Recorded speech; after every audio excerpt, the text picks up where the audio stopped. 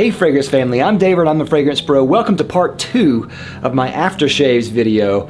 Now my first aftershaves video, I talked about my five favorite aftershaves.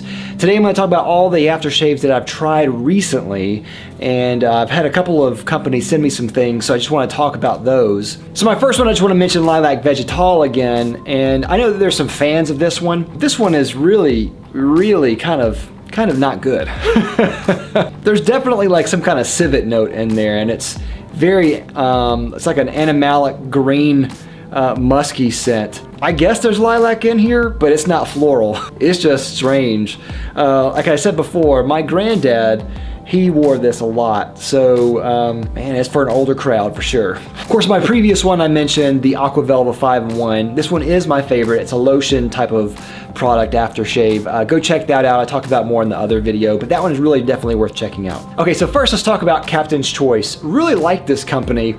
Um, I really like, first of all, I like the bottles, and they have some simple fragrances that I really like. And as I said before, a lot of their fragrances go on really smooth. They don't burn or sting, most of them except for one, which I'll talk about in a minute. And uh, this one is Bay Rum. Bay Rum is a very classic aftershave. Smells very familiar. Has Bay Rum. Um, I believe there's a little bit of clove in there. This one has, I think, a little bit of vanilla. It's not as strong on the spices, but it definitely has an herbal, spicy kick to it. Next is North, which I almost put in uh, my last video. North is fantastic. Now on the front there is like juniper berries on there and this does have a juniper berry type of smell. It's not super super strong in juniper berry but it also has uh, an evergreen type of feel to it so there's it does smell kind of like a forest. This reminds me a lot of Juniper Ridge a lot of their scents, which are very, very just all natural, from straight from the forest, straight from the tree. This kind of has that, and I really like that for that reason. Next is sandalwood, and this one's nice. It's a soft, woody scent, but it doesn't really smell like sandalwood, and I want to get that out of the way. Now, I'm sure that there are different varieties of sandalwood, so maybe this has one of those varieties, but it's a little bit on the lighter side, and it doesn't have that almost sour powderiness that a lot of really good sandalwood has, which is fine. It's just a light woody scent. The one that I was really talking about, which is kind of their infamous one, is Cat o' Nine Tails, which maybe you know, Cat o' Nine Tails was a torture weapon. It was a whip and uh, it had really nasty things on it like piece of bones and glass and metal shards and stuff like that. On the front it says feel the burn. Now, this is like Bay Rum Extreme, as they say on their website, and it does kind of have that type of smell. Um, I like it more than their regular Bay Rum, and I actually really like this. It does sting. It has a good burn, if you know what I mean. it has a cinnamon clove type of smell. There's something in the background that almost smells smoky, almost incensey. It's really nice. Of course, lime, which I also mentioned before, and this is my favorite from their line. And it's just a simple lime scent. And lime can sometimes be a couple different things. Eh, things. It can be really rindy and sharp, or it can be very soft and subdued. I like the more soft and subdued kind more. I think it has a little bit more of a complex flavor and smell to it. This is that. And it's not sharp, and it just goes on really smooth, really nice, feels great, smells fantastic. Really, really love this one. If you get any from Captain's Choice, I think this is his their best. Now they have a whole bunch of other things on their website, and they actually have one more aftershave that, that I don't have um, in the traditional aftershave form, but they have it, uh, I have it in their shave balm form. Now they have shave balms, which are basically just like a cream that goes on your skin, which is really nice. And uh, this is 45th Parallel. 45th Parallel has a cherry uh, almost almondy type of smell. Some say it's a little bit boozy. I could see that maybe a little bit. Uh, this is another one of those type of scents that I really want to smell like whenever I, whenever I wear an aftershave. It's really just really good. They have shave balms of all their line. They have shave soaps if you want to go check them out. Captain's Choice, go check them out. Really good, really good line. All right, next we're going to talk about Ogallala Bay Rum. Uh, that is the name of their company, and their aftershaves are all riffs on Bay Rum. And they are based in Ogallala, Nebraska, and they really took an old formula, uh, which is hundreds of years old, and they kind of revamped it and repackaged it. I really like their design as well. It's kind of like the Old West style and they really go after that type of theme, which I think is really cool. Now, as I said, their line is kind of riffs on the same Bay rum. So they have the original Bay rum, and then all of the other ones are kind of like flankers. So Bay rum and vanilla adds, you know, vanilla. So it's like a Madagascar type vanilla, uh, very warm and rich, smells fantastic, smooths out a lot of the roughness that is in bay rum. Some people really like that, I do too. The vanilla, I think just adds kind of just an extra hint of softness and uh, just a warmth and sweetness to it, which I think is really nice here too. If you're a fan of vanilla, um, bay rum and vanilla is just excellent. If you're a fan of traditional type of uh, aftershaves, the original Bay Rum I think is the way to go. But they have more.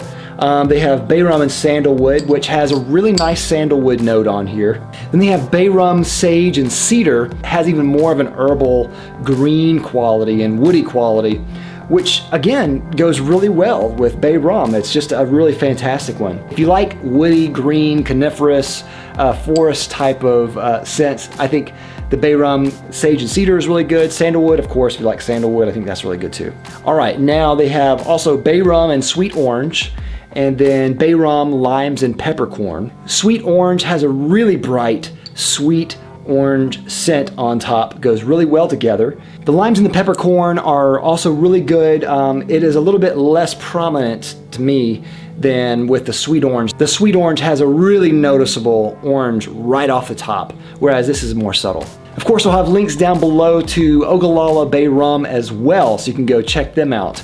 All right, so next I want to talk about a line that I'm really thrilled about, and that is Phoenix Artisan Accoutrements. Now, of course, I mentioned them in my previous video about top five aftershaves, and they had two in there that I really like, and that was Garden of Bali and Agharta.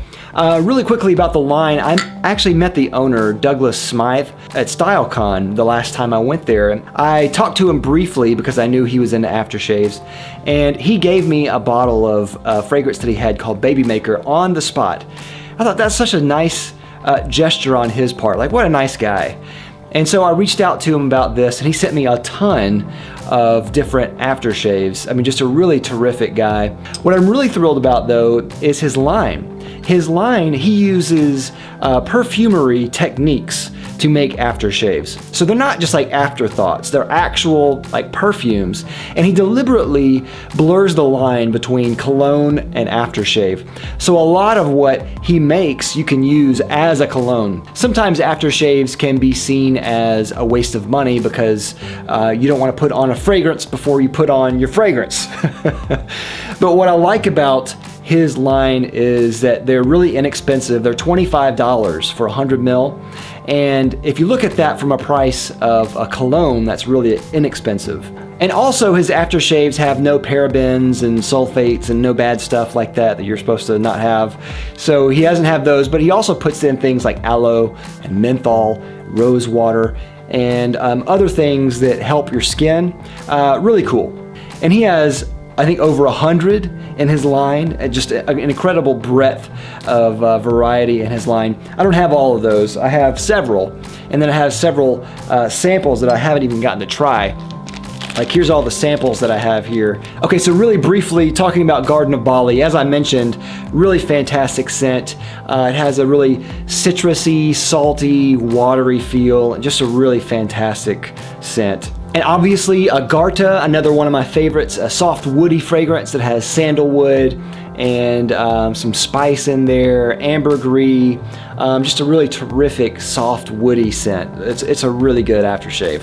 Now he also has a bay rum, Classico Bay Rum. Now I, I have a couple of Bay Rums here and uh, those are really good. This one is also really good. Now I know that the owner considers himself a Bay Rum aficionado, uh, a connoisseur of Bay Rums, and this really is one of the best ones. I just like the Ogallala one a little bit better. If you don't like the sharp edges of the traditional Bay Rum style, I think you could go with this one. It's a little bit softer, uh, really nice. Sundown is another one that I believe is one of his newer ones.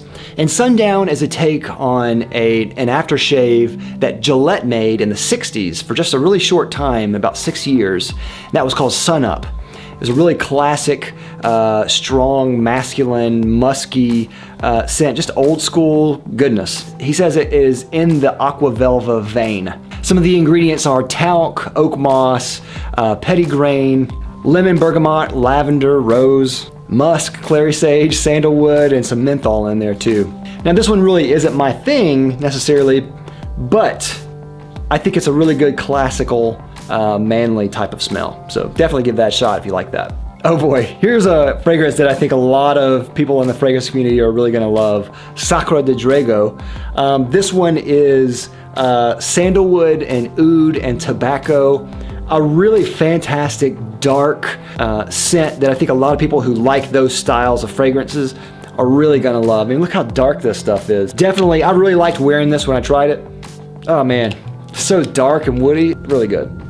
Next is CaD, and CaD, it says on the top, is a classic barbershop scent, and it definitely is classic. What this really reminds me of is Brut, but as if Brut were good. It's a really good, dark, deep, sharp, type of green scent. Um, it's it's a really good classical manly scent. If you like fougères, definitely check out Deja Fougere. Um, I mean, a traditional fougere. It's got a lot of really good things in there: lavender, uh, pineapple, bergamot, clary sage, geranium, heliotrope, rose, coumarin oak moss, tobacco, hay, vanilla. It's really got a lot of stuff in there, but it's just a really well done fougere scent. If you like lavender or if you like dark scents or any of the above, definitely check out Deja Fougere. Now he also has a sandalwood fragrance. Um, it doesn't really smell like the, the sandalwood that I'm used to. Now he has Hawaiian sandalwood in here, which I'm sure smells different. And so it doesn't have that traditional type of sandalwood smell and flavor that I'm used to, but it's still really good. It's a nice kind of sharp woody scent. Nonetheless, still a really good scent in the woody realm. And if you like sandalwood, check this one out. Last but not least is Enya. And I almost put this in my, uh, my last video. It was tied between that and Garden of Bali. This one is a citrus and cedar scent and it's exactly like you imagine it to be. It's got a really bright citrus top. Uh, I think there's lemon and grapefruit in there, and the cedar is really well done. One of my favorites, and I'm definitely gonna be using this up. if you like a lot of the classic uh, citrusy scents, especially like Italian style citrus scents, definitely give this a chance. This is uh, really, really good. Phoenix Artisan Accoutrements also sells samples, as I've shown before. I see one in here called Cavendish, which I believe is a pipe tobacco, which that really kind of makes me fragrance horny. So I definitely want to try that one. so that's all I have for this video. Thanks for watching again. I'll have links down below to all of the scents that I mentioned and to the websites where you can go and check them out. Definitely go check Ogallala Aftershaves, Captain's Choice Aftershaves, and Phoenix Artisan Accoutrements. I think you will really, really like what you see. And of course, if you're into wet shaving and aftershaves, let me know what your favorite aftershaves are down below. Love to hear them. Thanks again for watching. Don't forget to like, comment, and subscribe down below. Love you for it. I'll see you next time. I'm Dave with the Fragrance Bros. Bye. Thanks everyone for watching. If you like this video, don't forget to check out my other channel, Beast Made Reviews, where me and a friend review high quality products for men. You might like it. Go check it out.